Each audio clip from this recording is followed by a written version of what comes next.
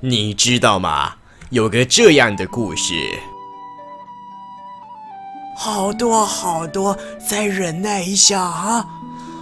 好了，泳装池快开了，如果没存尸的话，小心抽不到啊！哎，泳装池开了，只要利用魔法小卡，一定会抽到的。于是，欲哭无泪。请原谅我这个无知的非洲人吧。你用不着责怪自己。你你是谁？我叫做基德，是个律师。我是来专程替你消业障的。吼！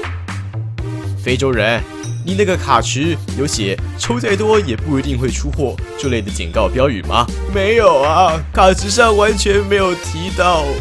那么你刻到吃土就不是你的责任。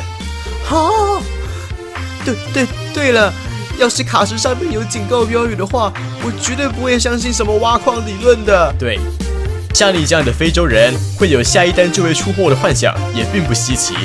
营运明知如此，却没有好好写上警语，这显然是营运的疏失。没错，就是这样。当然没错。走，我陪你一起控告那个黑心营运。替你的统计学讨回公道。